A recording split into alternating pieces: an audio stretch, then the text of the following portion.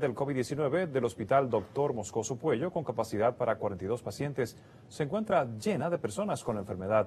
La doctora Francisca Moronta, doctora de la unidad, dijo que este martes tiene contemplado dar el alta médica a varios pacientes que muestran mejoría a fin de habilitar camas para nuevos ingresos.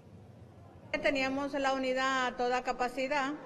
Este, hemos valorado algunas de altas para hoy para ver de qué manera podemos hacer la rotación de la cama en un sentido y en el otro sentido de que hay pacientes que tienen varios ya días aquí y han ido mejorando su cuadro clínico.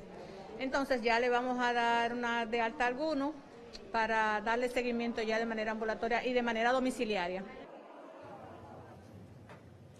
Moronte explicó que el 70% de los ingresos son jóvenes con edades entre 23 y 35 años de edad, en su mayoría de sectores como Guachupita, Gualey, Villa María, entre otros aledaños al Moscoso Pueblo.